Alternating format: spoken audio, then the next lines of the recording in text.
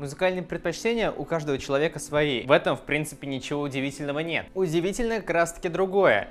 Музыка, как известно, влияет на человека. Ну, конечно, некоторые считают это просто-напросто слухами, бабкиными разговорами, но все-таки были проведены определенные исследования, и в этом видео мы взглянем на них и решим, правда ли это, либо все-таки вымысел. И да, такая небольшая оговорочка. Это третий подобный ролик на моем канале, в котором я задеваю какие-то интересные вещи, рассказываю о них, поэтому очень надеюсь, то, что вы поставите лайк. А мы переходим к теме видео. Самое распространенное мнение то, что музыка влияет на настроение человека. Да и музыка может подвести человека какой-то сильной мысли, даже желанию жить. И если брать примеры из литературы, то далеко не надо идти. Николай Ростов из «Войны и мир», который, в принципе, хотел покончить с собой, но потом в какой-то момент услышал пение Наташи и решил завязать не с жизнью, а с самоубийством. Или, например, Илья Ильич Обломов, который также благодаря пению научился снова любить. Петр Гринев из «Капитанской дочки», который, услышав песню про виселицы, воодушевился. Скорее всего, вы скажете, что это невозможно. Не может такая депресснявая песенка повлиять на человека в лучшую сторону.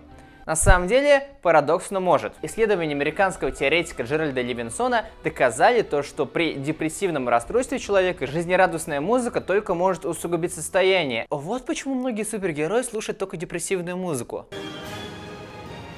Нет, мне эта музыка надоела еще с 90-х. Поменяю на новую. Кто поменял мой плейлист? Джокер! Кроме этого, он провел небольшой эксперимент.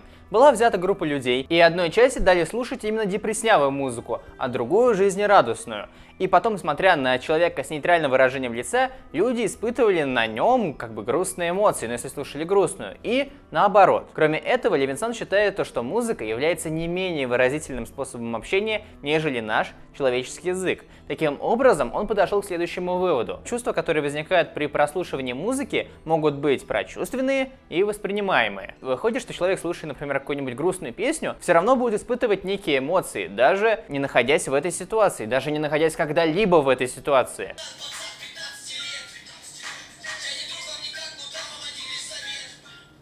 Охрененно зашкварное чувство. Будто я Супермен.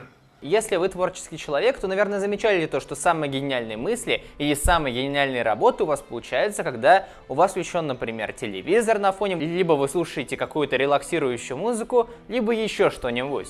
Короче говоря, когда есть небольшой шум на фоне. Но на самом деле, чтобы не говорили родители или кто-либо еще, шум на фоне как стимулирует правое полушарие мозга. Усложняя процесс обработки информации, стимулируется абстрактное мышление и настраивает мозг человека на креативный режим работы. Именно поэтому писатели, художники как обожают кафешечки, парки, ибо там есть определенный шум. Но тут есть, конечно же, исключение. Первым делом то, что громкий уровень шума очень сильно отличается от среднего, и как раз таки при громком у ваша голова переполняется информацией, и вы вообще работать не можете. Грубо говоря, мозг перегружен, потому что пытается абстрагироваться от внешних факторов. Поэтому, если вы рисуете, врубаете музыку на полную, то знайте, это не есть хорошо, и вполне вероятно, вы смогли бы получить лучший результат, сделав музыку чутка потише. Еще очень сильно мешает разговоры людей. Если вы играете в какую-либо игру, например, в доту, в контроль или что-то типа подобного, и кто-то вас на фоне говорит, и вы просто даже, ну, не то что концентрируетесь на этой информации, хоть немножко слушаете,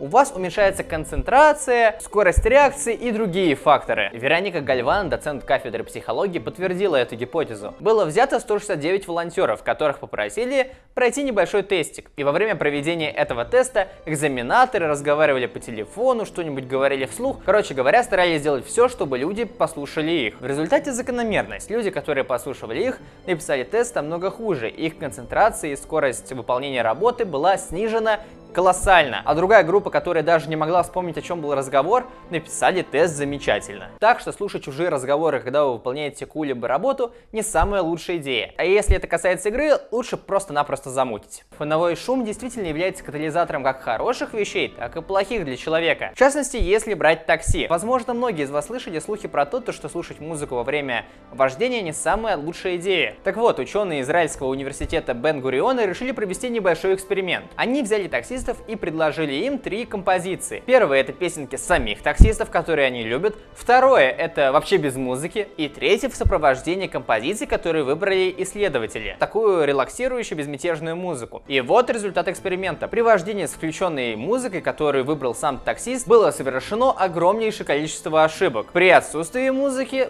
все было более благоприятно. И самый благоприятный результат был тогда, когда водителю дали слушать именно ту музыку, которую выбрали ученые. Поэтому думайте дважды, когда разрешаете таксисту слушать свою любимую музыку. Кстати, сидя обычно в такси, слушая музыку, которую выбрал таксист, вы можете примерно понять, какой он человек, какой он имеет характер. Результаты данного исследования, проведенного учеными Хэрриот Ватт University, впервые доказали, что между музыкальным вкусом человека и его характером есть прямая зависимость. Но опять же, я немножко не согласен с этим экспериментом, потому что есть огромное количество исключений. Ну, например, когда человеку нравятся сразу два жанра одинаково. Поэтому давайте сразу уточним. Тут как бы все утрируется. В первой части эксперимента 36 518 молодых людей со всего мира должны были сортировать 104 музыкальных жанров в зависимости от их личных предпочтений. А вот в следующем этапе все было немножко сложнее. Испытуемым нужно было разделиться на пары и определить характер человека, только прослушав, ну, 10 его любимых композиций. Звучит как челлендж, надеюсь, такого на ютубе не будет. Для анализа были избраны 5 качеств.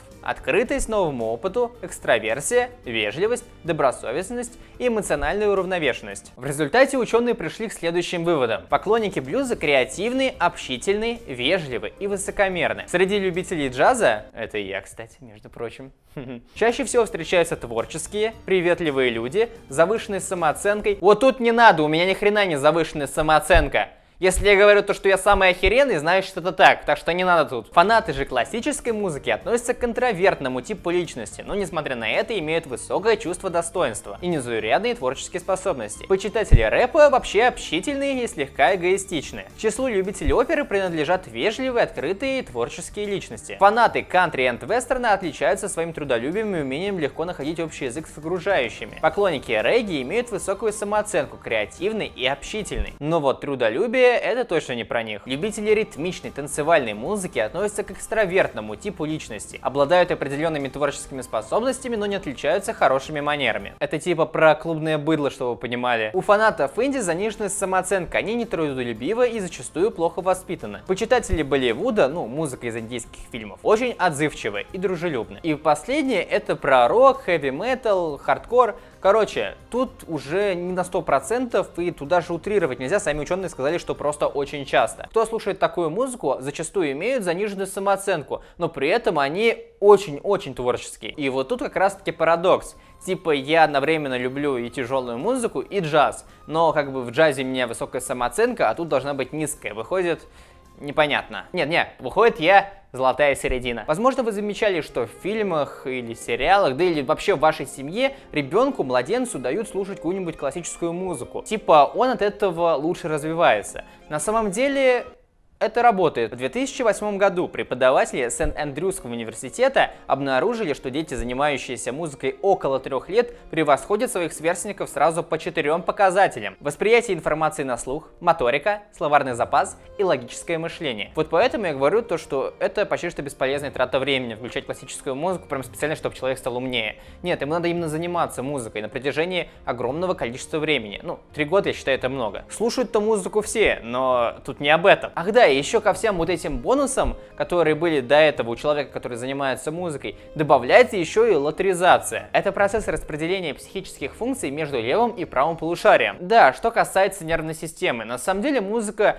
влияет еще и на наше тело. В 1911 году американский ученый Леонард Айрес обнаружил, что велосипедисты крутят педали гораздо быстрее, слушая ритмичную музыку, чем когда едут в тишине. Так происходит как раз таки потому, что музыка блокирует сигналы об усталости. Точнее не то, что их блокирует, она их перенаправляет более долгим путем. То же самое, например, когда вы тянете железо, просто бегаете по улице, а не только на велосипеде гоняете. Конечно, это правило не работает, когда вам очень тяжело заниматься. Тут даже музыка не поможет, но для средней интенсивности музыка это лучшее, что может быть. И следовательно из этого при тренировках с музыкальным сопровождением человек может более правильно воспользоваться своим энергозапасом. Кроме этого, исследование, проведенное в 2012 году, показало, что велосипедисты, слушающие музыку во время тренировки, потребляют на 7% меньше кислорода, несмотря на то, что нагрузка остается неизменной. Правда удивительно, насколько такая простая вещь, как музыка, может сильно влиять на нас. Это лишний раз доказывает, что вещи, которые для нас кажутся обыденными, могут иметь огромное значение в нашей жизни. А я пока отчаливаю. Слушайте хорошую музыку. И, конечно же, подписывайтесь на канал. Здесь много чего интересного.